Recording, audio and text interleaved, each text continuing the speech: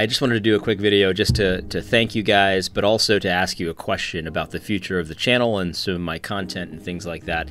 Um, but first off, before I get started, I just wanted to tell you guys how fun it's been to watch um, all of all of this movement, this not, this anti-social justice, um, you know, trademarked version movement in Christianity um, gain momentum. You know, we've been we've been very successful at controlling this narrative. There's no question about it, and we're forcing the woke church into a lot of unforced errors. Forcing into unforced errors. That doesn't make sense, but we're forcing them into making big mistakes. you know, you know, typically as a rule, Big Eva doesn't name names because I think one of the reasons why they don't is because they don't want you to be able to check um, their their their the sources. In other words, to check out what if just to make sure that that what they're saying about people is true. But we're seeing them uh, change that rule up. In fact, I, I saw Thabiti Anyabwile today sharing a thread about how Tom Nettles with the Founders Ministry is like a racist or something like that, and that's going to be so easy to refute. It's just unbelievable. You know, in the past they would hide the fact that they were for reparations, um, but now they're openly openly for reparations, and and they have to do this. I mean, this is not something that you know they they, they could avoid doing. They they they really have no good options to go forward. I mean, their movement is based on a lie, and so of course, no matter what they do, we're going to be able to nail them on it. But it's just been so fun to watch um, Big Eva really squirm.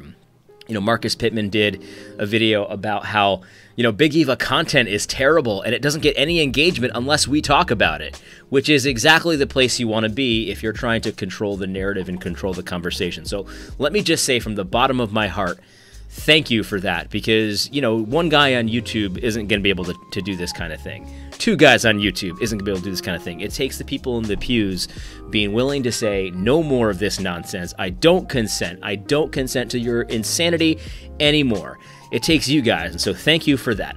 But on a more personal note, I just wanted to thank you um, just for the support that I've been getting, and it really, um, it means a lot.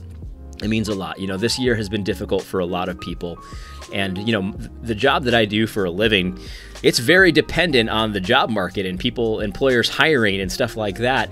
And so when the economy tanked, it was a very big deal for for my family. And I didn't really mention this you know, on the channel that much, but it became harder harder to find clients, and um, and I gotta say, it was it was concerning. There's no question about it. I started to have to do twice as much work for half the result. And um, the good thing about being self-employed is that you, you go you, you do what you have to do to, to, to close the deals, and so I did that. But uh, it was a struggle. I was just actually looking today's tax day, so I was looking at my income for the year and, and, and what's due today and stuff like that.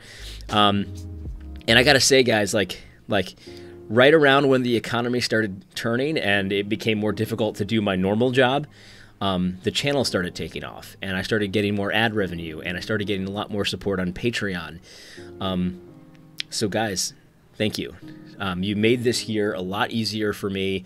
Um, it would have been a lot more stressful, and you know, you guys got some of the benefit of that because I was, if if if I hadn't gotten the support, I would not have been able to do as many videos as I've done. There's no question about it. I probably would have done half as many um, th- than I've done, and I just have to say, from the bottom of my heart, um, from a personal perspective, thank you for that. And I know I know God's providing through some of you guys. You know, um, my life doesn't have to be easy, but you know, it just it just made it easier to continue doing this content. And so you've had an impact um, on this particular channel, and you're having an impact on the movement at large. We are controlling the narrative, guys. There's just no question about it. We're controlling the conversation now. Look at me.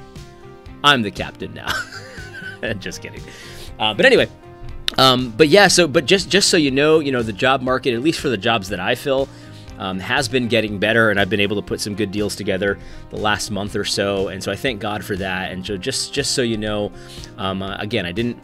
I didn't want to tell everybody at the time because it's like I wasn't like hurting for money, but like you know, I just I just thank you so much because again, right? It's it's just it's just amazing how this works. Like right when you know my my my real job was kind of becoming more difficult and the numbers started going this way, the support started going this way to make that transition a little bit easier. So thank you so much for that.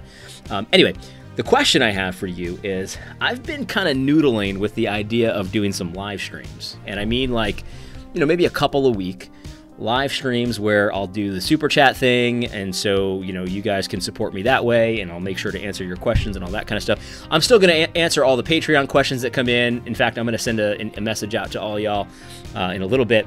But um, what do you think? Do you think I should do some live streaming? Because I could get into some trouble trouble doing some live streaming because you can't edit it, and so if you say something stupid, you know, then you know that, that could that could be fun. That could be spicy. So what do you think? Should I do some live streaming? I don't know. I, I'm toying with the idea. I mean, live streaming can go south very, very quickly. I think I have the skill set for it. I think I would be good at it,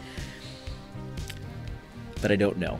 So let me know in the comment section if you think I should do uh, live streaming or at least give it a shot on YouTube or Facebook or something like that. If you would enjoy that kind of content and be able to kind of control what I talk about a little bit through the super chat and all that kind of thing, uh, let me know because I'll give it a shot.